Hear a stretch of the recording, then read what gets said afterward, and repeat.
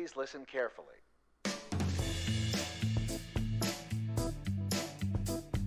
But welcome back to the Focus Target podcast. Finally trying to finish some things up here at the last second, but uh, you know, here we are back once again uh, with you for episode 104. Um, today we are going to talk about the Batman. Uh, more specifically, the Christopher Nolan Batman. Uh, I think it's called the Dark Knight trilogy of Batman Begins. Um, the Dark Knight and The Dark Knight Rises. Now, likely knowing us and because we have a couple of tangential things to get to, we're not going to do this all in one podcast. We'll probably split it up and kind of do a two parter because there's a lot to get to. So uh, I'm going to jump right in. With me, as always, it is Van and Shy. Sorry, guys, almost forgot to introduce you. Not that anybody doubted you were here. But uh, let's jump right into the question of the day. We have a question of the day. Last time we had our Final Fantasy 11 report, uh, part two. And so to kind of tie back into that, um, here's a question that I've actually been pondering the last couple days since the latest patch notes. Um, would you regret playing Final Fantasy XI on this private server Eden if it were shut down tomorrow? So let's say tomorrow the devs say, "Hey, you know, we actually can't support this," or we got an injunction from SE, uh, and they say they're putting the kibosh on private servers, uh, so we're done.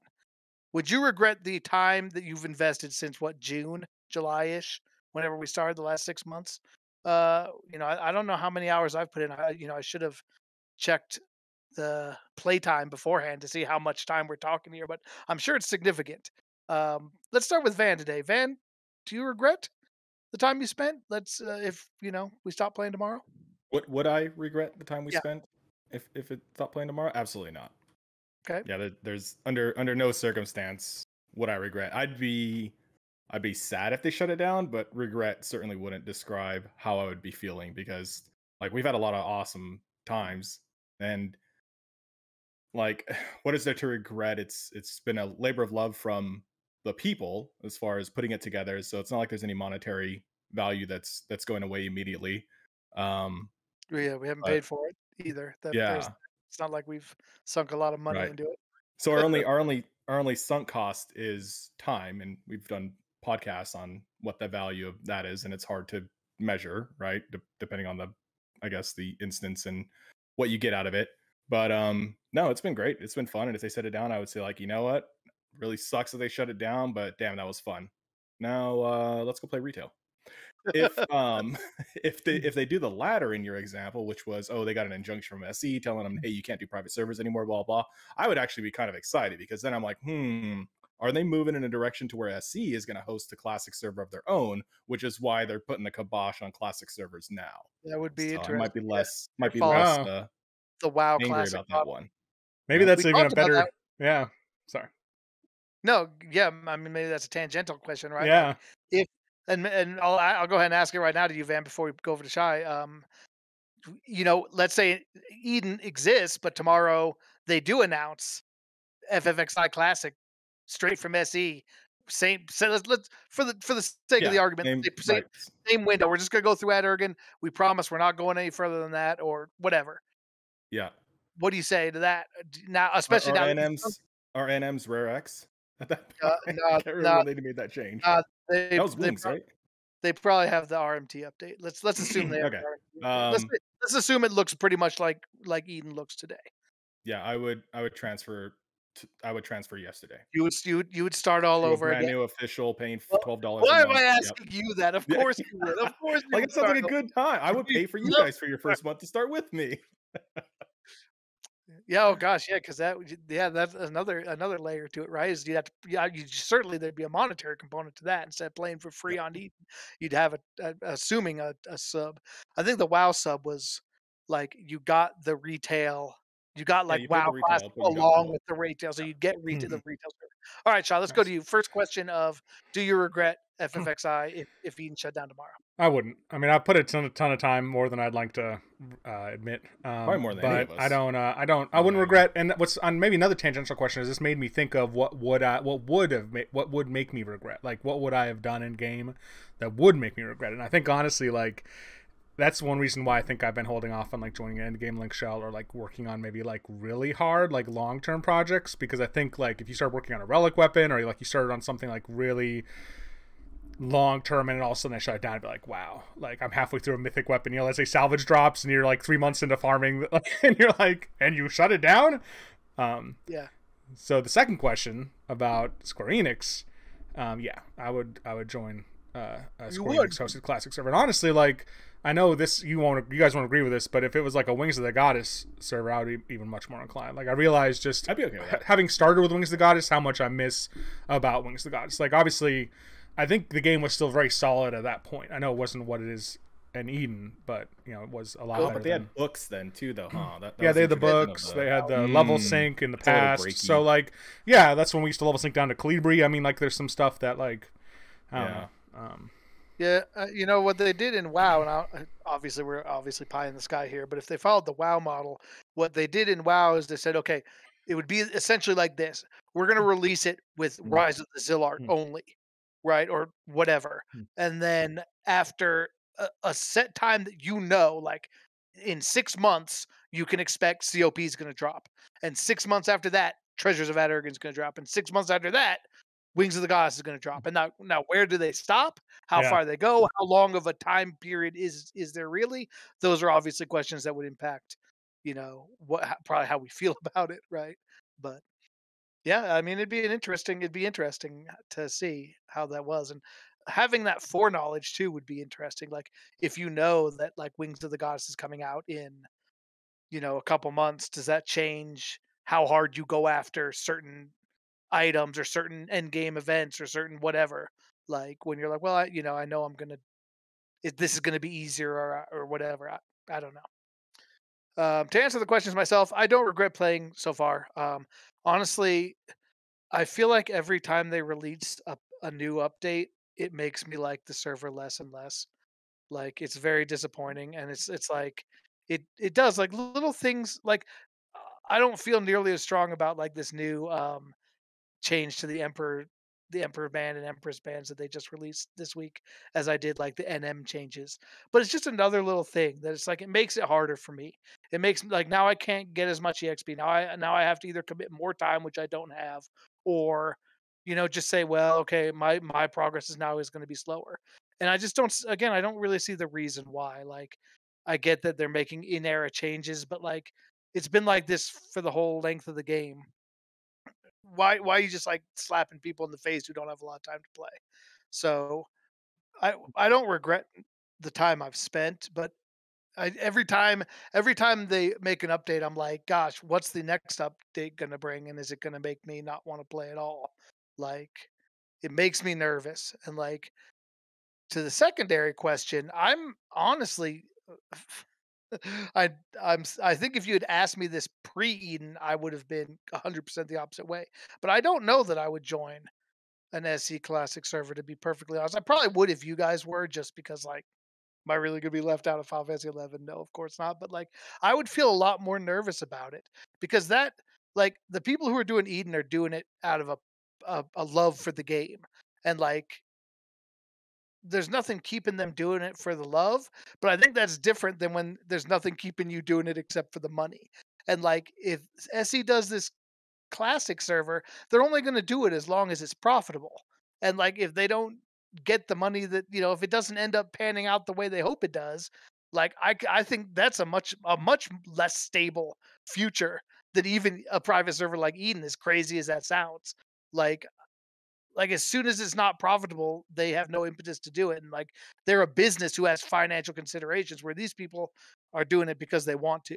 And even if they stop wanting to, they could still potentially pass on the responsibilities to other people who did. So I would be a little bit nervous investing a lot of time and now money as well into a private server that or not a private server into a, uh server. FFXI classic that, that I feel like I'd always be like constantly like, are they making enough money? Is there enough coming in? Are they going to decide next quarter that oh, you know what, we don't have the money for this anymore, and the server's going down. Sorry about your progress. I I don't know. I would I would be nervous. See, I wonder though, like if you think uh, it'd be interesting to know how many hundreds of players right now are playing on in private servers right now, whether it's Wings, whether it's Eden, whether it's like these other ones, and then well, and then like you think of like how, how much would it cost Square Enix to spin up a classic server for maybe several thousand people with content that's already been created. Like they're not paying someone to create content. It's just you're hosting a server. And if they're paying monthly, if you have a couple thousand people paying a monthly sub, like I can only think that's some profit, but maybe not. I mean, yeah, maybe that- I'm that's the whole, that's the basic idea behind WoW Classic, right? It's like Yeah. this costs them nothing, and it made them bunch of extra money, Yeah. and that's why I could see it actually happening. I could certainly see SE looking at it and be like, "Dude, we could totally do this and just make a quick buck," and like, but I I just don't know. I would. I'd be I'd be a lot more nervous about that for for whatever reason. Maybe What- that's unfounded, but What about this? Another tangential, because technically this podcast now is just uh, would you play Final Fantasy Eleven? it's classic, but Like, what if- part three? what if what if FXI Classic Remastered came out? Would that would that bump it up? Oh. I know you guys maybe don't care so much Yeah. about graphics, you know, but if it was basically cl- cl- classic but with better, like they improved like graphics and like you know, I don't know, that would like that would really that would fine. yeah yeah I wouldn't it wouldn't it Wouldn't wouldn't, make really difference. Make a difference to me. Right. Like I would like it. I'd be like, cool, like that's awesome. Why I, let's take advantage of this new computer I have that What is if running a twenty year old game. what if they remade Final Fantasy eleven like they remade Final Fantasy seven and turned it into an action MMORPG? Action MMO. That would be insane. But I would absolutely not play I- at all. I don't know. I don't know. You might though. If they did it well, you might. Be interesting to see what it would be like. probably wouldn't do it well. But like, Yeah. imagine how much more fun grinding EXP parties would be if like the combat was a lot more engaging. Like TERA, Like, imagine TERA combat, like TERA combat. but in yeah, with- FXI. I don't know. I don't know if that'd be good or not. It it would certainly be worth a, a look. I think. All right, gentlemen. Thank you for take going on a question today tangent with me down the FFX rabbit, rabbit hole. If you were not here for FFXI today, you got excited that it wasn't an FX uh, FFXI report. I'm sorry about how much time we spent on it, but personally, I'm not sorry to talk about FFXI. Before we even get to Batman, which we do want to talk about for at least a couple We do have a podcast, right? Um, We're gonna talk about no. a primary topic. Uh, you know, we wanted to do, you know, we wanted to kind of, since it's the middle of the NHL season, we thought, you know, we, we're only doing a podcast every other week instead of taking a full podcast to do, you know, at every, you know, if we do a Final Fantasy 11 update and an NHL update, we're kind of never doing any other topics. So we're gonna try and squeeze in a little bit of hockey talk in each podcast as well, just kind of give an update on how the teams are doing. Uh, I'm gonna start with the newest team, the Kraken. Um, that would be Shy. Shy, how's your team? What's going on? Yeah. Seattle land. So uh, they had a really rough start to the season, especially considering the last expansion team, the Vegas Golden Knights. Um, we were look. I, I wish I had the exact stats. I think we were like three, 12 and one. I think maybe or something like that. And yeah, not good. Um, so maybe it was four, 12 and one. So right now we're eight, 13 and one. I believe is the exact record. We've won four of our last five. Um, that was we in the four game stretch we played the Carolina Hurricanes, we played the Tampa Bay Lightning, we played the Florida Panthers, and we played the Washington Capitals, which I think are basically four of the best teams in the NHL right now. And we actually won three of those games. The team we lost to was the Tampa Bay Lightning. So things are, I would say, are starting to look up for the Kraken. I think that they're. As it of- seems like they're getting some stuff together. Um, As of today, all of those teams are currently in the playoffs. You said Washington, Carolina, Florida, Tampa Bay and Florida. Tampa Bay. Yeah, those are they're one and two in the Metropolitan and two and three in the Atlantic. So yeah, they're Yeah. four of the six best teams, four of the four of the five best teams, honestly, in the East. So Yeah, so we so we Pretty went impressive. like yeah, the first quarter of the you know the first like twelve games we lost to some of the most trash teams in the NHL like Arizona and Chicago and whatever, and then we decided to start picking it up. So I don't know, we'll see. I'm uh, it's been a lot of fun watching them. Their power play is getting a lot better. It was like it was the worst in NHL for the first like twelve games, and now it's like middle of the road. I think we're up to like. 19%, 18 or 19% power play. Um, and Driedger, seems like Driedger's been goaltending pretty well the last couple games, and so maybe he's giving Grubauer a break. So yeah, there's my quick update. Um, they're looking they're looking a little bit better. man, what about you? What's going on in the land of the Golden Knight? I don't think they were the worst in the NHL in power play. I think that award went to the Golden Knights. No, we took it from the Golden Knights for at least a couple games. Oh Jesus! Yeah, yeah, we were worse than you guys for a little bit. not uh not one that we want. Um, things are looking up for the Knights of Gold.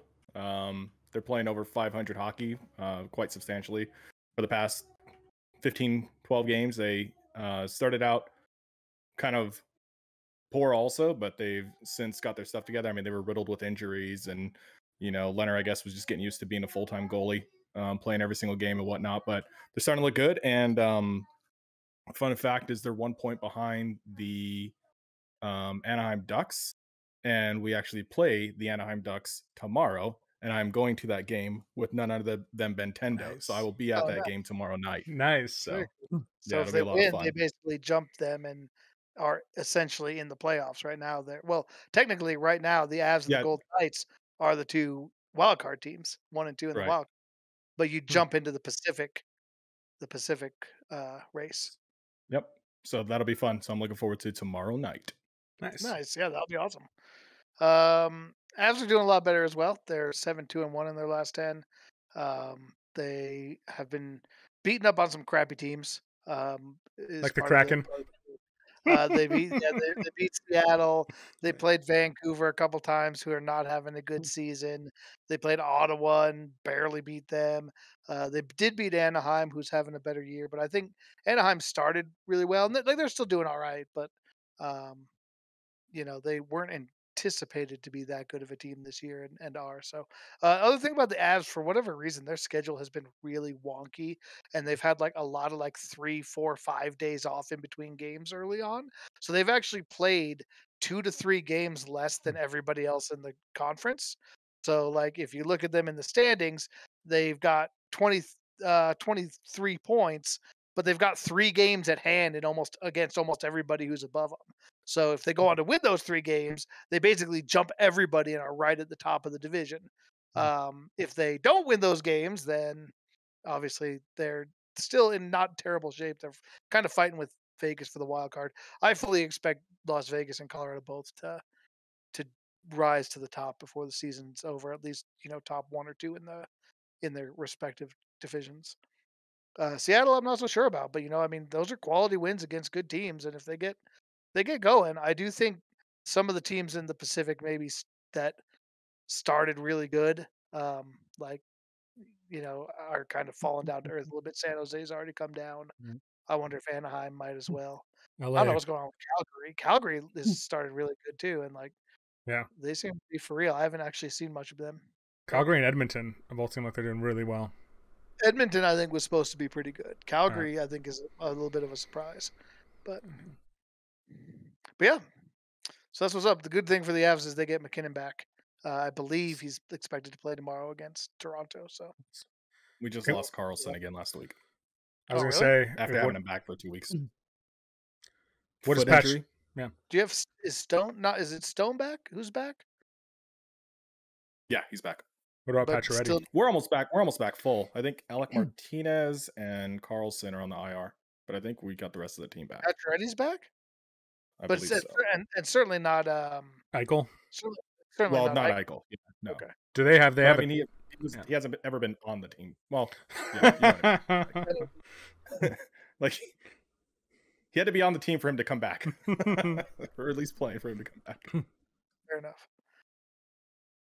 All right, well, so that's our NHL update. Uh, we will probably continue to do that from podcast to podcast, just kind of keep tabs on where where the teams are in the season as as it goes along. But I mean, we're getting to about the quarter point of the season. Most teams have played kind of 20 to 20, 22 games, which is the one quarter mark. So um, just moving right along. NHL season always goes fast, as as as many games as there are. I feel like it's always over so quickly. Um, but maybe that's just me. um, all right. Batman Dark Knight trilogy. Let's start at the beginning where Batman begins. So let's go if it's mm. all right with you guys, let's go through today and talk. We'll kind of give our kind of high level thoughts. We're not going to do a a breakdown of the plot of each movies. If you haven't seen these movies, please just go watch them. In fact, if you haven't seen the Batman the whole the trilogy, you should stop this podcast right now. It's a really quality trilogy. Definitely worth your time.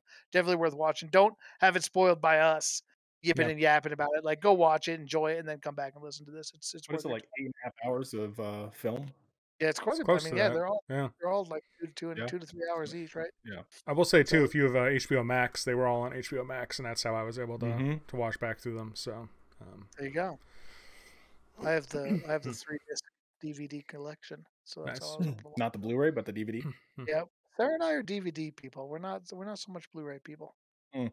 I don't know why. We just we're we're kind of old school. With that. Yeah, we're we're fossils. But um, yeah. So let's so let's go let's go through each each, each movie. We can kind of just talk kind of high level what we thought about things we liked, things we didn't, and then maybe probably next episode we'll kind of like look at the trilogy as a whole. Maybe kind of go through um kind of like the character maybe a little bit more into the characters but like let's talk about just kind of the movies and the famous favorite scenes and things you like things you didn't so let's start with batman begins um what you know what are your thoughts? I- i'm going to start a little bit like i remember when i first saw this movie i thought um how cool it was to have batman basically like trained as a ninja you know like i thought that was just like a really cool like and i don't know if that was a comic book thing you know i i am not familiar with the comic book lore of batman i haven't read any comics or anything so maybe that's something that everybody already knew but like i didn't realize that like i knew he was like a crime fighting and gadgets but like i didn't i thought like it was cool how he gets trained into this league of shadows and like he's already kind of a badass like you can tell that from the first scene where he's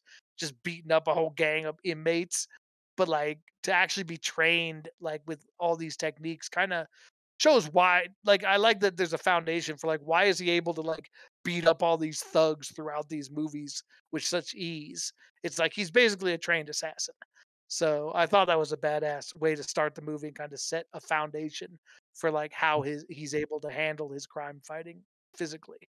Um let's go to shy. Shy what's uh what are your thoughts on batman Well, begins? to uh and I, I mean I have lots of thoughts, but um I think to to piggyback off that, I mean I really liked how right off the bat when he's doing the training and he's working with Ra's al Ghul, there's that introduction of the idea of Batman as an ideal and not just as a vigilante, and I think that like that's an undercurrent throughout the trilogy, and I think that's like that really makes these movies stand out from like this like huge like subgenre nowadays of vigilante films where it's just basically like angry men like beating up or killing you know bad guys. And like batman's not that you know he's something more. And i think that that was cool that like that distinction was made. Indeed. Van what's your opening thought Yeah, kind of similar to how you all mentioned it. I never read really the Batman comics or anything like that, so whether him being trained an assassin or whatnot was canon, it was pretty cool to actually be there at the origin of Batman as opposed to just jumping into the other films where he already has his superpowers and all. And I use superpowers terms loosely because he doesn't really have like superpowers or mutations or anything like that. He's just a normal civilian who has been trained and has a lot of technology and money behind him. money is a superpower Yeah, Money's the Right, real- sure, fair enough. To pull a line yeah playboy. yeah to pull a line from the newer like dc movies there's a scene where like the flash looks at batman like in like a justice league like uh, the Zack snyder justice league he's like what's your superpower and he's like i'm rich like ben affleck's batman says that so Uh, Yeah. appropriate. Yeah. So yeah, it was pretty cool to pretty cool to see.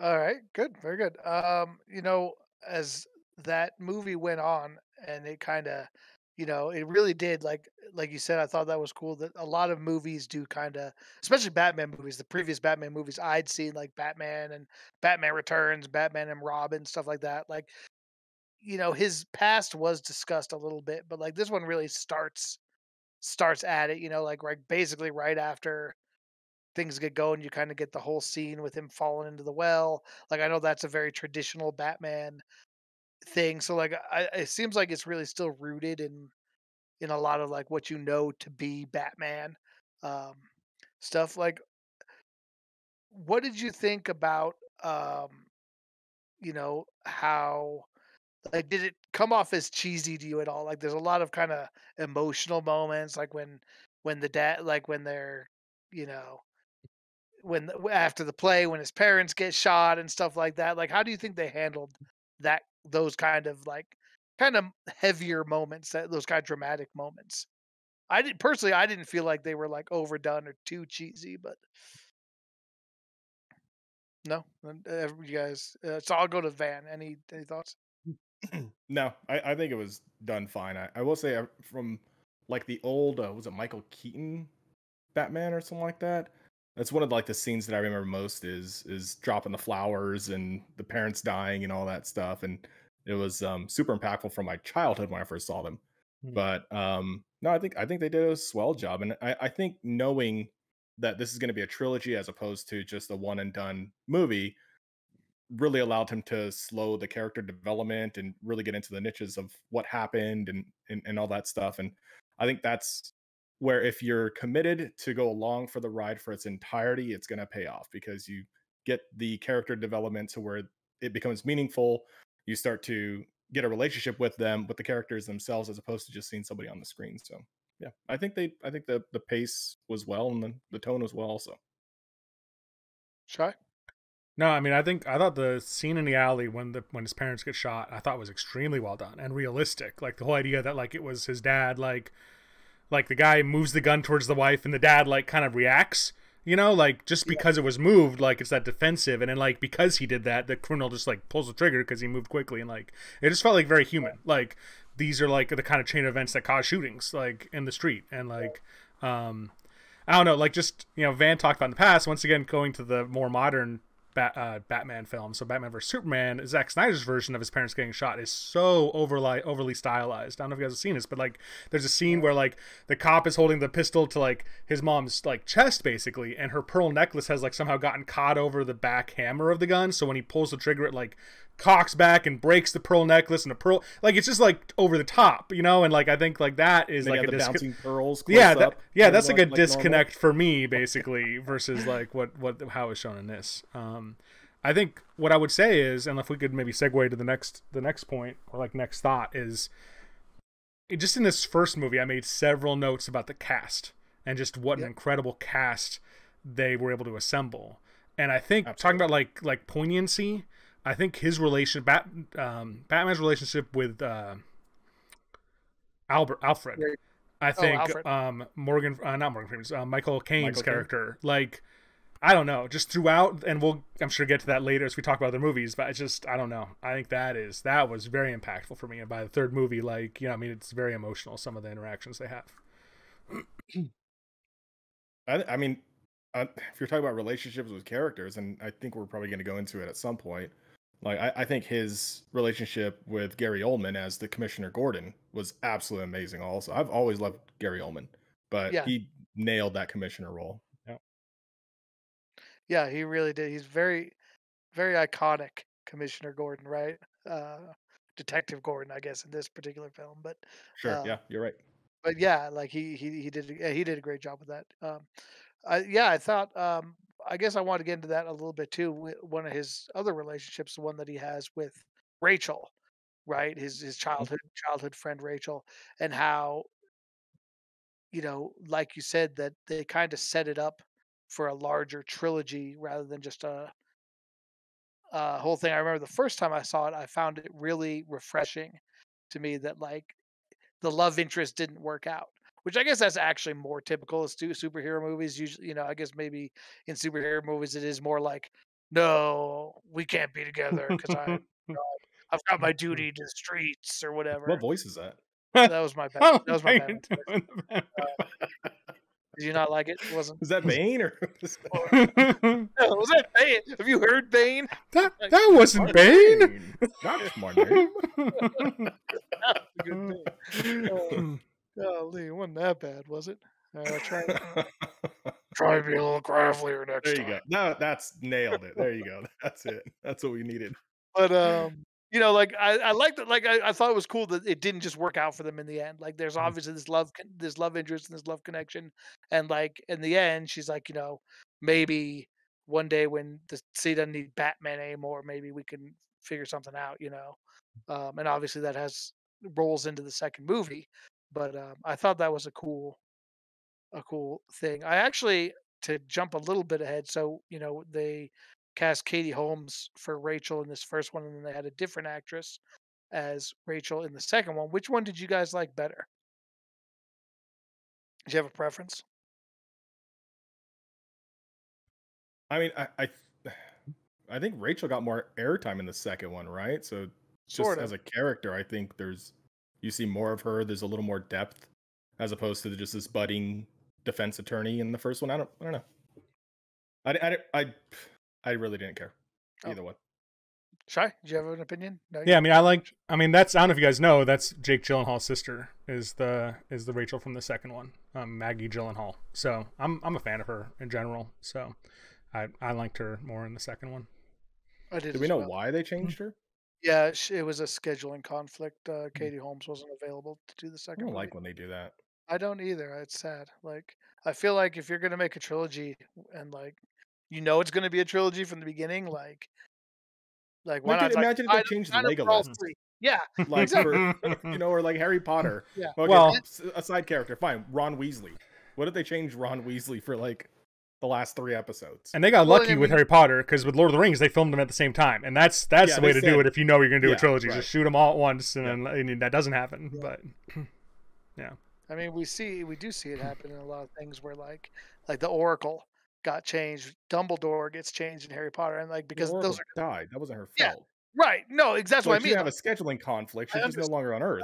understand that. Like we we understand we know that it sucks when it happens for uh, things outside of your control. Like it's Right. even worse when it's like, oh, well, they couldn't get the schedule to work, and it's like, Yeah. you know, like Yeah. you, it's something you may have to deal with anyway. Like I feel like they should try to minimize it, but Star Wars started using CGI faces. I mean, Oh, let's not go there. what if Luke Skywalker had been different in the second and third one? Like, What if they used a different R2 unit? they did. His if they brought in R4 to replace R2? Like, they Christopher Nolan releases a Dark Knight like director's version where they've taken Katie Holmes' face and put it on J- Maggie Gyllenhaal's face for the, for the Dark Knight. Um, and unnecessary because I Miley, guess- you need to get a. Alright. You need to get, get control of your podcast, there. Yeah, no, we're going a little bit off the rails, but you know what? We're it's been one of those podcasts already, so that's fine. Um, All right, so what what else you guys got? Uh, should we talk about Liam Neeson, Ra's al Ghul? Like I thought he was so good. cast. I thought he was I so just- good this. Yeah, I just want to name some of the cast here, right? So we got Christian Bale as Batman, Michael Caine as Alfred, Gary Oldman as Commissioner. We've mentioned all Mhm. these so far. Morgan Freeman as Lucius, Yeah. like the scientist. Katie Yep. Holmes, Liam Neeson, Yep. and then we haven't even gotten to the next ones. You know, Heath Ledger, Anne Well- Hathaway. I mean, Well, staying Batman Begins because Ken Watanabe is the fake Ra's al Ghul. Like Yeah. he gets like Uh, yeah. five minutes in the film, Oh, and he's right. like an awesome actor. It's just so He is, like yeah. it's Yeah, so fun. I don't know. fake I don't Ra's al Ghul. the The decoy, stand-in like Ra's how cool. Yeah, the decoy. yeah, Like, sure.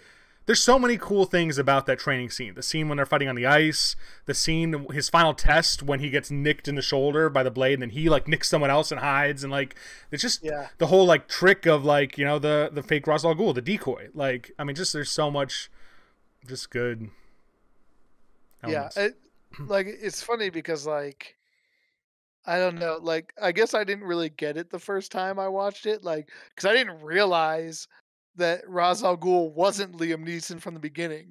Like I thought that Mm. Sensei was just like some other guy. Like I thought he Oh. was always Ra's al Ghul. Like a Then when wise I- master to be yeah, there. then when I rewatched, I was like, oh, they did a bait and switch there, and I I just missed it. You're too smart. You're too smart for the, the screenwriting, Smiley. maybe maybe that's what it is. I don't know. But uh, yeah, and uh, you know, I, I should give a shout out to Michael Caine. Michael Caine, one of my very favorite actors. Uh, ever since I saw him as Ebenezer Scrooge in a Muppet Christmas Carol, which is the best Christmas movie ever in my book. Um, hats off to Mr. Caine. I think he's such a great Alfred. I mean, he really he really nails that role too. Awesome. Like just yeah, from the beginning to the end. Um, all right. Uh, what what else do you guys want to talk about from Batman Begins? Anything? Anything as far as like favorite scenes, things maybe things you didn't like about as much or that could have been better? I, yeah, I have, a, I've, I've, I have a thing that I think could be better, and I think that that kind of rears its ugly head in this movie that continues at least through the next film, and that is Christopher Nolan's complete ineptitude in directing extended fight scenes. And so, like right off the bat in Batman Begins in the prison, he starts in the prison, he starts fighting like he fights these like four guys, and like, and like like it's seen later in the movie like when they're uh, when he's trying to stop that the tram with the with the microwave device and he fights those like four ninjas. And like Christopher Nolan I I don't know if he's purposely trying to make it feel like close combat is chaotic especially when multiple combatants are involved but like it is not clean or well edited at all. Like if you watch like a good like Jet Li or Jackie Chan fight scene and then you watch Christopher Nolan fight scenes like they are they're horrible. There's no continuity or whatever. And so like I, I hate I hate his fight scenes, and I, I want to talk like as we get further in the trilogy, I'll talk about some other stuff like that because I think he does some really cool stuff, especially in the third movie, where he gets away from from that. But just I've I've never liked the fight scenes in Batman Begins, and like it I think just watching him again this time. the length of time that the fight scenes go on for Oh, no. necessarily the the camera angles and all that stuff too, because Uh they are pretty long. They're pretty drawn out. They're they go on for quite a while. Yeah. I one of my favorite movies is The Legend of Drunken Master with Jackie Chan, and the fight scenes in that movie are Oh, okay. like four all or five fighting. minutes. Like, yeah, the whole movie's a fight scene basically. I love fights. got I, I'm a, I'm a I'm a fight scene connoisseur. So yeah. What about you, Van? Do you have any any like parts you didn't like as much, or things that slowed down for you? No, not really. I don't have any. I'm not too critical of the first one. Everything seemed pretty on par and pretty good. Pretty well done. The only the only thing I didn't like, and I wouldn't even go as far as say I didn't like it, but like I'm a little underwhelmed about the way Ra's al Ghul goes down. Like, I mean, I, I get it. Like, Batman's like, you know, I don't have to. I'm not gonna kill you. I'm oh, sorry. I'm not gonna kill you. But that doesn't mean I can save you either. You know, or whatever. I don't think that was. I don't think that was better. I think I lost the graveliness a little bit, but whatever. You get the point, right? Like, I think it needs to be more airy and less volumey, less voicey. Yeah, um, Like- I just felt like Ra's al Ghul's like such a badass, and then it's just like he almost kind of has like an off-camera death in a way. It's like Batman leaves, and like you just assume that he gets blown up in the train crash, and it's just like I don't know. I guess I would have wanted something a little bit more showdowny, a little bit more climactic, but Does he I don't die? know. Because he always said he was immortal. I mean, he obviously comes back as a ghost, like as a force ghost, um, or like which a he- which is weird. Yeah, It's weird that he it's weird that Ra's that he can come back as Ra's al Ghul as the Force Ghost. Yeah, we never see Qui Gon Jinn come back as a Force Ghost. Mm, It's just like Mm. handled off screen. Good and one. maybe I want to see that in the new Obi Wan series, but mm. like maybe that'll be like the real like super secret surprise, like the way they kept Luke Skywalker as surprise for Mandalorian. Like there's been no tie of Liam Neeson to to the new And they Obi Wan already- show, but They already brought back freaking Darth. Uh, the hell's his name? Darth Maul. Darth Yeah, they already brought back Darth Maul. Because apparently, when his body got singed, it cauterized his lower half, so he didn't Yeah. die. He didn't bleed out. which is funny because that was that was actually canon in the in like the pre Disney takeover, Mhm. and then it was wiped out, and then they're like, yeah, but we're gonna keep that, and then they brought it in. They brought it into the new canon too, like. But that's a that's a different topic We should do a Star Wars podcast. Uh, Oh dear. I don't think we could fill a podcast on Star Wars. I don't know. um. Anyway, any any final thoughts on Batman Begins, or should we go to? to I thought it was a great setup for what ended up being an absolute masterful trilogy. I li- you like yeah, I shy final Yeah. thought like Yeah, another grade. just one more thing. I mean, Yeah. I, would, I mean, I would give it an A. I mean, A plus in general as far as the movies go. A solid A. Um, I think one last comment I was going to make was just the films get a rep. I think of being very serious, right? Like a very serious telling of Batman. But I like that Christopher Nolan can fit in like some humor, some like light humor Yeah. occasionally, without like the cheesy like Joss Whedon jokes from like the Marvel series or whatever. Or like like one note that I took was the scene when like he shows up first in the Batmobile and the police dispatcher's trying to like the police officer's trying to describe what it is. He's like, and I wrote down the quote. He's like, he's in a vehicle, uh, black tank. like he's like trying to think of like how to describe it, and like it's just funny, like you know, and just like there's like just smattered throughout him. And I think obviously the second one maybe isn't doesn't have as much of that, but like he tries to fit that in occasionally. So Yeah, I, I I agree with that. I think the humor's the humor's pretty good. What you don't find the Joker funny in the second one? Oh my gosh. oh man, mm. Uh, jokes on you. Well, all right, let's let's move on then. Uh, while Why we so little serious? Why so serious, shy? um, let's move on to the second one, The Dark Knight. I think. Do I speak for everybody when I say that this is your guys' favorite of the three? Ooh, Shy's got to think about it. Van, y- I'm getting odds like for it. Van. it is it is absolutely my favorite. I would go as far as to call it an absolute masterpiece. I just absolutely loved It's a brilliant. It's a brilliant. It's, Just- a brilliant it's, one. it's an absolutely amazing piece of. uh I would, uh, yeah. I'm not gonna go like as high as ID4 as far as amazing, but it is. Well, It is Hold it on, now let's not get crazy here. It is. It is masterfully done. It's. It's Yeah. a. It's a. Yeah. It's. It's. Well, take it's us through amazing. while, while you're going. Take us through it. Like, what are what? Why? Like, what? I- What I- puts it so high? What is it about it that's so great? I think it has a mix uh, i mean it it basically pulls you completely all around the emotional spectrum on in every way possible from like the the good feel goods to like the most uncomfortable positions through Heath Ledger's absolutely stunning portrayal of the Joker, which he just completely embodied 100%. You had you you had no choice but to le- believe he thought he was the Joker at that time. Like it is just absolutely incredible.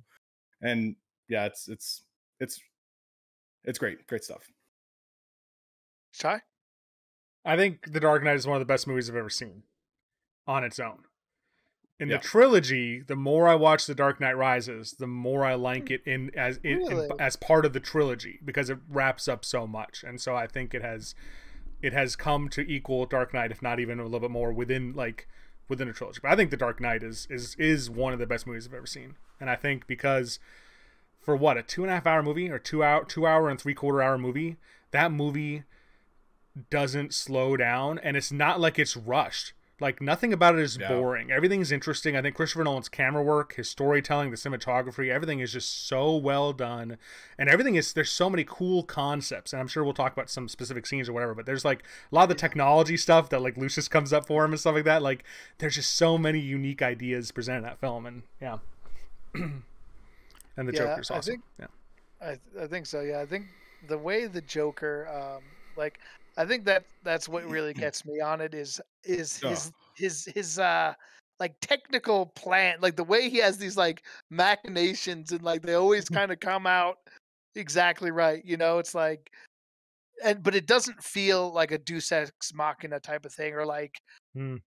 you know, a lot of times when you have these master plans where everything, like everything, kind of has to go a certain way for it to work out, and like it's fun in the moment, but then you go back and think about it, and you're like, well, you know, but what are the chances of it really actually like if one of these things, completely random things, had gone differently, none of this would have worked, and like it see it came off really cool, but like this is like a one in a million like fluke more than like that's just kind of disguised as a master plan but I don't get the feeling from that in this particular film. It feels like it's not because he's hoping for random events or for chance to take him a certain way. It's like the psychology of it, which is so interesting to me. It's like he's like, I know how you're going to react to this, and I'm planning for it, and then you do, and so you kind of fall into my trap. Like that's that's where I I, I walked away from it, just like being finding it really compelling. You seem like you want to disagree a little bit, shy. I do because it's so funny Okay, you mention this because the first I've ne- it's never bothered me. I've never been bothered by that idea of like how complicated his plan is by the movie. And I've seen the movie a dozen times, but this view Mhm. play viewing, I was sitting there thinking this could have gone wrong. This like was complete chance. He was really relying on like timing here and like and just like and I was like, this is like it doesn't bother me ultimately because I can suspend disbelief and I just love the movie for what it is. But both this and the next movie, I feel like his and Bane's plots are so complicated that they could be like they could be ruined by like someone not putting you in an interrogation room at a certain time like if you or like not putting you in a certain holding cell at a certain time if they'd put him if they'd put him in in like uh, solitary solitary confinement for like 24 hours instead of in that open air thing whatever like you know if they decide not to interrogate him i don't i mean i don't yeah Interesting. So maybe I need to watch it again a little bit more critically there because I didn't I feel, feel like, like was much chance. Well, well, here, here, here's an example. Here, I just want to give a specific thing, and and this is maybe giving some stuff away, but like he, so Batman creates that that telephone network, the cell phone network, right, to find the Yeah. Joker at the building, and the Joker's waiting for him. Like the Joker's waiting for him to show up, but like, how do you know Yeah. that Batman was even developing that technology? Like, he didn't. We have no idea that like he had See, some I kind of like say- spy in the in, in the company or whatever. Like, I wouldn't say he would do that. I, I think he was giving respect to the Batman, saying, "Hey, I know you're smart enough to find out where I am. Therefore, I will set this up like the way he did, right, with the people, the hostages, and, and Joker masks and stuff like that." that one doesn't bother me either. Yeah, because it's like Batman always shows up. He knows Right. Batman's going to show but up. But without that, he wouldn't have does. shown up. Without that technology, he he- wouldn't have shown up. but Like, I mean, It mean, doesn't matter how. It- All all the Joker knows is the Batman always shows up. He always has. He always has. Oh, see, this is getting good. And like we don't we you know no nobody knows how he That's knows a what he Deus Ex. Machina. That's a But- Deus Ex Machina saying the Batman always shows up. Like I don't like like, I don't know. I don't know. I, I don't think. I don't feel like it is. I feel like But it's I like kind of feel like and the Two Face. feel like even if he didn't show up, it wouldn't matter because the Joker always had an answer for anything that happened. My my example for that is when he walks into the boardroom with all the other with all the other um Mhm. you know uh, kingpins and all that stuff, and he's in there negotiating with them and saying, "Oh yeah, blah blah, blah you know, get, what do you what do you want?" He's like, "Oh, half your money," and and all this stuff. And and he was ready to just if they agreed, everything was going to be fine. But they didn't agree, right? So there were two different outcomes. They could have either agreed or they couldn't have. And when they didn't agree, he opens up his jacket pocket, he pulls out his grenades, and he says, "Yeah, you're just going to let me walk out now." Like I kind of feel like he always had some kind of a plan set up, regardless of which way the events unfolded. We're only seeing one turn of event, but had it gone the other way, I'm I'm I'm willing to say the Joker would have had a, a a response for it. So let me pitch you another scenario. I'm sorry, this is going to now turn into a like, was this the Joker's plan or not? So like, so the the awesome chase scene in the streets when they're transferring Harvey Dent, and there's that awesome scene with the, the semi where they flip the semi mm-hmm. and like you know he's in the semi whatever. So did he know Gordon had faked his own death? Because if Gordon hadn't faked his own death and knocked him out when he had the gun on Batman, like he could have just killed Batman right there. But like all of a sudden Gordon was there and knocked him out, and then later on, and you know, like comes out of the armored van and like like so he was apparently relying on Gordon to be alive to knock him out so he'd get captured so he wouldn't kill Batman so then he could then like face off against Batman later. So like it's just like these little things like I, that I'm gonna agree I'm gonna agree with Van again on this though because it's like hmm. you know is it not possible that what he had what we saw was his contingency plan? Like what if he what if Gordon's not there? Then he maybe he does kill the Batman that's what he's been paid to do. That's what he's supposed to do. Then he and goes so his contingency plan is putting the bomb then, in the guy and like kidnapping yeah, other people and like. And again, like I think that's a reasonable thing. It's like I'm going up against Batman. Like, how many criminals have come out on top in this one? Like none. Like I should prepare. Like he's gonna have mm, tricks up his yeah, sleeve. I, like I, I got to be ready in case he gets me. And if he doesn't, if I'm able to win, cool like that's what i'm supposed to do but if i can't i'm going to have a backup plan and i think that's what we saw there was his backup plan because of gordon faking his own death so not that that's not inconsequential it's just that he was ready like he didn't losing isn't the end for him it's like okay if this goes wrong i'll do something else i'll go back to that first one say same thing for that like he's doing his mm. little experiment with the boats right if batman can't find out where he mm. is then batman doesn't come to stop him and he just does what he wants and moves on to the next thing like what has he lost if Batman doesn't foil his plans? Like right. maybe he's, he's doing a social experiment dead, anyways. Yeah. yeah. and then he'll yeah. blow up the bolts. Yeah. Like so I my... think that's part of his chaos. That it's like he's he's actually okay with a lot of different outcomes. It's not like it has to go exactly one way for him to be happy. He like, and I kind of feel like that's his attitude, where he's just kind of like, eh, okay. my final response would be that too many things go right. Then I guess like and it, and, and, it feels like too much it feels like too much for one man to coordinate. Like and maybe i'm giving the joker too little credit but like if that is true if he had like layers upon layers upon layers of redundancy over the course of like six days like that is a lot of like coordination. And i know he has all these people and he's infiltrated and whatever but you know i, I don't know. Like i really uh, yeah maybe I, am not, not, i'm not trying to say you don't have a leg to stand on. You, no. you probably do but like it didn't come off to hmm. me as much in a lot of movies as it in this one. There's like this one, I hmm. felt like he's using their psychology against him. It's like a lot of times he's in the right place at the right time because he's analyzed them and he knows how they're going to react. And like they do do the exact thing he wants, but like it comes back to remember a while back we had that podcast about determination versus free will and the idea that like you make the decision you make because of all these different factors like it seems like free will, but maybe it's not. Maybe it's that like you would always make the same decision because you have all these things that have brought you to that point. And I feel like there's a little bit of that in the way the Joker operates, where it's like he knows he knows who these people are and what they're going to do, and so he's ready for it when they do. But I'll, I'll, I'll try to watch that one. I mean, it'll be a treat to watch that movie again. So I'll try to watch it again with a little bit more critical of an eye and really try to see if I give it a fair shake to say like, is this reasonable yeah. that this all happened the way it did, or how how far fetched is this? And I'll try to report back on that at some point and see if if uh if I kind of come over to your side a little bit. But right now, I, I'm not convinced. All right, all right. All right. Couple, what else about the second? I have a oh, couple. Yeah, I have a couple hot takes about it. Maybe you guys can, yeah. can give me some uh, some feedback on this. So I think that the Joker is the original John Wick if anyone's seen John Wick, there's the famous line, "He killed a man with a yeah. pencil," and there's the awesome scene when he puts the pencil in the, "I'm gonna make this pencil yeah. disappear," and then bam, and I'm like John Wick right there. so so I was uh, thought that was awesome. I'm sorry, like it's it's a grotesque humor for sure. Yeah, but there are some funny parts in that movie, but non gory. Like that's the thing. Like at least that oh, scene yeah. was was Still, yeah. like it's a it's a it's a little squeamish. Mm-hmm. Or like when he's like like I'm like a dog chasing a car. I wouldn't know what to do with it if I caught it. like Yeah. that's a funny line. It's Yeah. a good line. Yeah. There's some dark scenes I think that like philosophical scenes too. Oh, I don't know if like you guys dark. like the scene when he brings in that guy, the guy wanted to kill him in the boardroom, and his like two associates. When and the, well, they bring him the dead Joker, and he's not dead. He wakes up, he kills the guy, and then he breaks that pool Yeah. cue, and he's like, "And we're recruiting."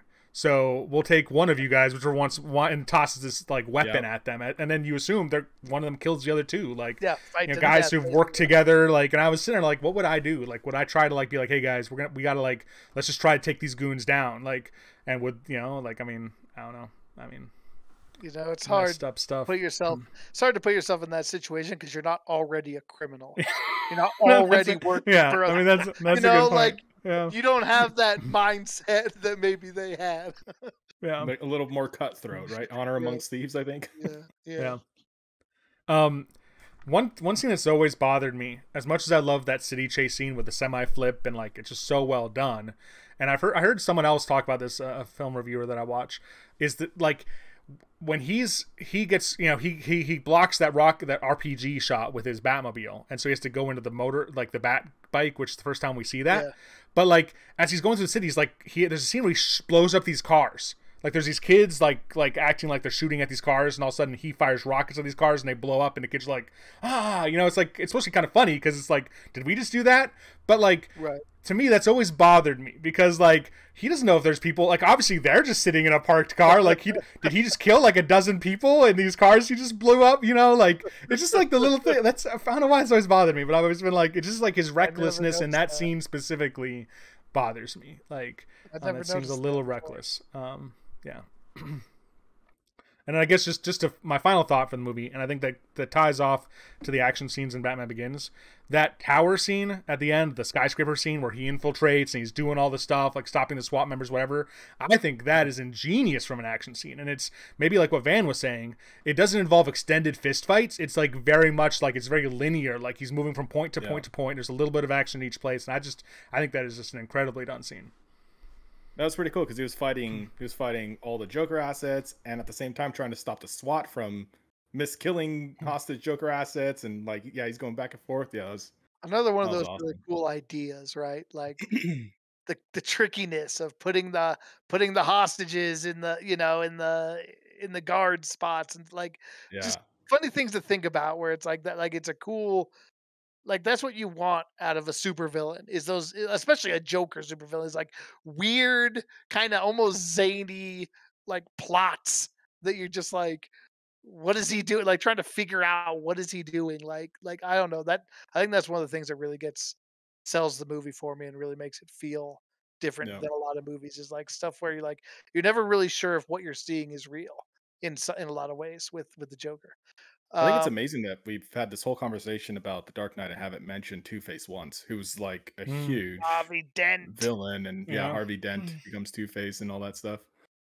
Yeah, Yeah. very very cool to see like how they did that. I thought where Mm. to actually see his fall from grace, right? To see the steps that pushed him, you know, and, and, And you get the super small snippet in the beginning when Batman stops him, right? When he has the gun and he's about to, to pull the trigger, and Batman stops. He's like, "Hey, well, you know, if anybody else saw you doing this, they would lose hope Right. in all of humanity and all that stuff." And it's like, maybe Right. you were wrong about who Harvey Dent really is inside in his soul, and he's not the Golden Boy. And and then, sure enough, you see his his quick fall from grace and who he becomes, and you're like, "Yep, that was in him all along, I guess." And just suppressed or something. I don't I don't know.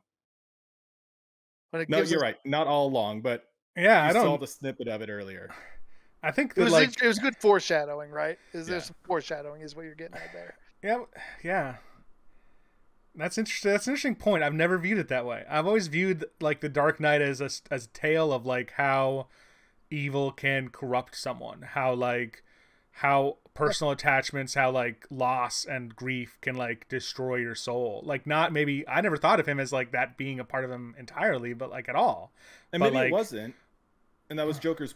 Oh, I don't know. Because Joker's whole point hmm. was that even your most noble person who you think the Yeah. highest of hmm. can be evil, can become evil. Like that was Yeah. Joker's purpose in turning Harvey Dent into into what he did, into Two Face. Sure, but I think I thought that was what the whole point of that though, and is what you were saying is that like that nobody's perfect, right? That nobody's Mm. incorruptible, and that even even someone who like we we can agree before he becomes Two Face, like Harvey Dent's a good person.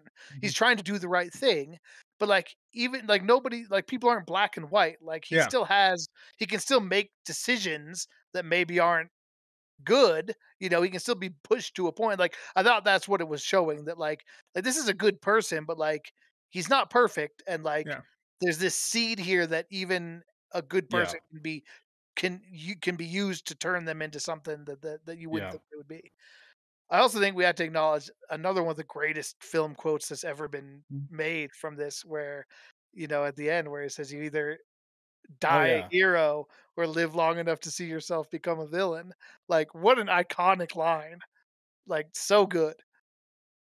I use that quote all the time. It's so applicable in, in a lot of like a lot of areas so of life. It's just true in a lot of Yes. stuff, right? Like about becoming bitter, embittered about stuff in life, Yes. or like, yeah, One of my favorite quotes as a parallel is from uh, sports writer Bob Ryan, legendary sports writer Bob Ryan, who said, um, "Familiarity breeds contempt," and I think that's kind of uh, kind of goes along with that. Like the the longer, the more familiar you get with something, the more likely you are to um, be dismissive of it in a way. Um, I took a screenshot. Speaking of quotes, and maybe we should do a quote section next time because even you know, um, what's it called the last uh, Dark Knight Rises has some great quotes in it too. But one of the quotes from Batman Begins that I thought was just absolutely fascinating and, and timely was that criminals thrive thrive on the indulgence of society's understanding. And Mm, I was like, hmm, that is good and timely. Yeah. Yeah. Um, so one thing I do want to mention about the Dark Knight was, and I want to go back because um, Shai mentioned it. this is one of the most impactful scenes for me as well, and it has it's not really to do with Batman, but it has to do with our current era. and that was when you had that those millions of screens and the technology to find everybody everywhere. And Lucius was like, "Well, as long as you have this technology, like I don't want to be here because this is, you know, it's unethical, it's it's immoral." This shouldn't exist. No one person should have all this power. And then Batman's like, well, that's why I'm leaving with you. And then I couldn't help but think of the contrast from that between now what we have with smartphones and tech companies literally having that exact same technology, if not better and more, right now on all of the mm. citizens. And they're like, you know, we can't have this technology on 30 million people. And I'm like, shoot, we have it on over a billion today Yeah. and we're we're literally have that technology at our fingertips or companies have that technology at their fingertips which back in 2008 when this movie came out the uh, first big smartphone the iphone came out in 2007 and i was like what an interesting just parallel between that comment agreeing with him there and where we really are today as far A as little social commentary, goes. right? A little bit of a, a warning yeah to the future that that was obviously not heeded. Yeah. yeah right clearly i just found that fascinating All right, uh, I want to get to to my. I think the thing that was most moving to me about this entire film, maybe the entire series, is what did you guys think of the death scene of the Rachel death scene in, in the middle of the movie?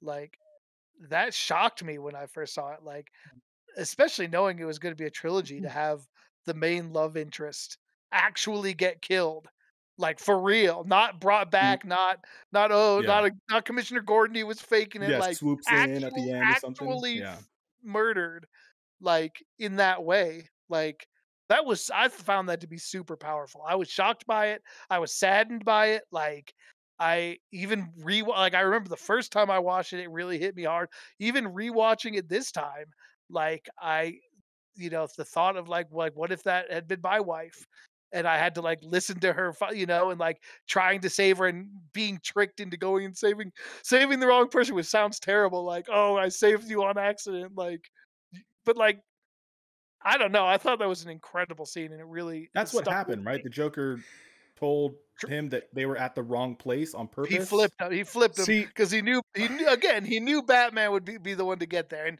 I this one I mm. can see a little bit like like how I'm I'm a little bit with you on this as I think about through like how could he have had the timing so exact to know that Batman could save Dent, but that the other one wouldn't, and like how could he know he'd be interrogated at that time?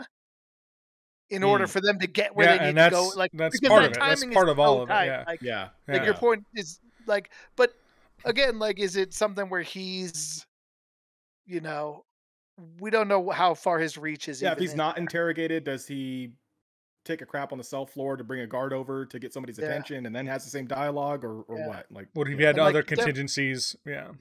right. And like, if he has kind of a clock in his head to know, does he say, okay, like, is he kind of like, because they do kind of chit and chat before he actually gives the information. So is he kind of stalling up until that point to say, this is when I need to reveal it because this is the window where I believe. But, Mhm. but you're right. I mean, there's a little bit there where you're kind of like, does he really like know how fast the police? But maybe he does. Maybe based on where the locations are, you know, one's closer. I don't know. There's there's a little Yeah. bit of a gray there, but Yeah. I it still didn't bother me. It just made me like I was just very sad when that happened. Like it's it's it's the kind of action, like the kind of scenario that I think like is a believable way of turning Harvey Dent into what he was. Yeah. You know, like and like the fact that he got all scarred is kind of like a bonus, but like the and then the, that. and then the convers the last conversation they have is that she says that yes, I will be with you Yes. forever and all that stuff. And then all of a I'll, I'll marry yeah, you. Yeah. Yeah. Yeah. Yeah, I, I, it was it was very powerful. I think the only the only reason that I still am confused about the whole like he's like I'm going for Rachel, but then he shows up at Dent, and like I think you're right. Like the Joker purposely switched it, but Yes. He he doesn't. Batman doesn't react at all when he walks in, and that confuses me still a little bit. Like there's no like oh. what. Where's There's no like, where's Rachel? Like, you know, like Yeah. you, I would expect with how much he loved Rachel and how, like, like obviously he think he realized in that moment, I just need to pull Dent out, but still, that seems a little cold for Batman to not like have a reaction. Um, like, because we hear the whole exchange from Harvey Dent's conversation. We hear like the door open. We hear like, why are you here?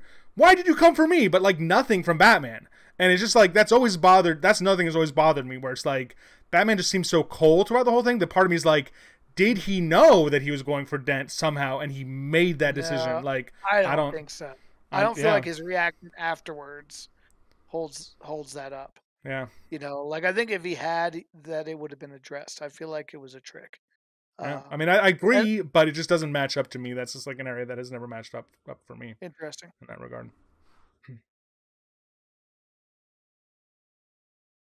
Any thoughts about?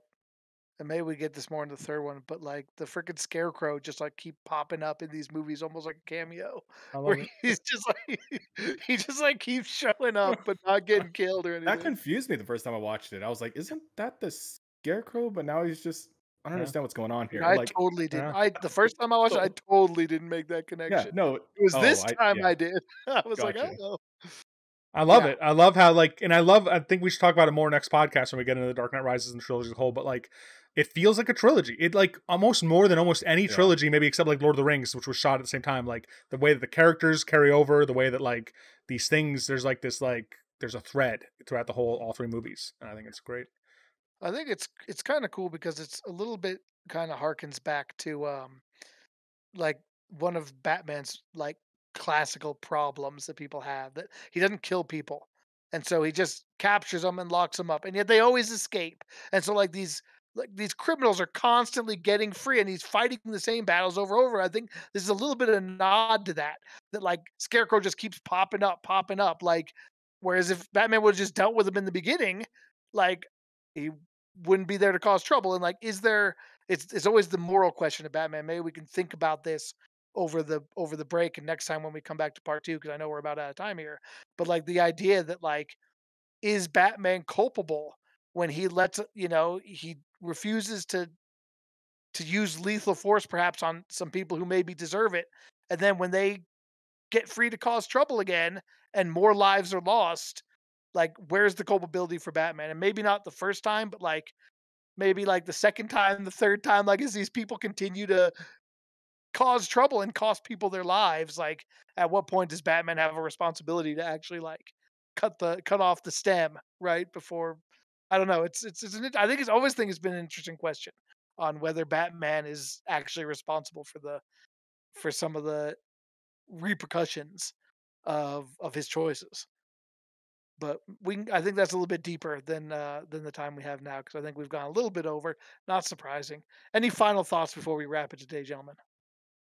I, I have one final one final thing that I wanted to mention. Yeah. Like I love the first scene when he shows up in the movie. Because another uh, thing that shows in Dark Knight is that there's now Batman imposters, like normal people that are trying to like Oh, act as yeah. Batman, but they're just vigilantes and they don't have the technologies. There's a scene at the beginning when you see the Scarecrow, and there's this awesome. There's two awesome scenes in that that I really, really love, and I just want to wrap up my my last comments about it. Are like there's a scene he has like some kind of like cutting tool on his wrist or whatever to cut through metal, and there's a scene where like it malfunctions, like it doesn't work as intended. He's trying to cut through the side of this van as this, as Scarecrow's Yeah, driving, and it gets caught Yeah. in the metal. And it's just such a cool scene of like we always see Batman's technology working and like everything going flawlessly, but there's just a scene where like he got kind of stymied, like it didn't work, and he has to jump off the van, whatever. And then like seconds later, this van's going down this parking garage, and he jumps off the the the, the level of the parking garage, and there's this awesome just shot of him landing on top of this van with the cloak and this impact and just. I don't know. Like, there's just that movie is full of scenes like that that are just extremely. And then the fake executed. Batman's like, "What makes you different than me?" And he says, "I'm not wearing hockey pads." Yep. and then, and then that guy dies later, Yeah. and it's Batman's fault. I think too that like uh, uh, another parallel that is how like he has trouble with the dogs. Like the dogs are all tearing him up, and then later he has to go loose. She's like, "How's it do against dogs?" like it's but it's a good point. Like it shows that it's always a work in progress. Like he's not Yeah. just he's not just got like this perfect set that it's Oh, always no, I- he against everything. Yeah, he's like, "Hey, hey, Lucius, here's my new plans." And he goes, "Oh, you want to be able to turn your head?" He goes, "Well, it'd be Yeah. backing out of my make backing out of my driveway a little easier." Yep. yeah. Dan, did you have any other final thoughts? Nope. If we have not. more, obviously we can continue with Batman, be uh, the Dark Knight I do want to do that. next time because we maybe didn't get to everything there, and then we'll have Dark Knight Rises and kind of as a whole. But uh, if you have any thoughts about the Batman trilogy, about the NHL, about Final Fantasy Eleven, or about the podcast in general, we would love to hear from you. We have our uh, contact information is as follows: We're on Twitter at Focus Target. We're on YouTube, Focus Target Podcast. That's where all of our previous episodes, some of the streaming stuff we've done. We haven't done a lot of streaming lately. I don't think. Maybe Shy has. I know I haven't. Um, we are, uh, but all that can be found on YouTube. We have twitch.tv backslash focus target podcast. That's where we're broadcasting live today. And of course, the best way to reach us directly is our email, focus target podcast at gmail.com. So thanks for being with us for episode 104 of the Focus Target podcast. I am your host, Smiley. This is shy. And I'm Dan. As always, cover us, Porkins. We're out.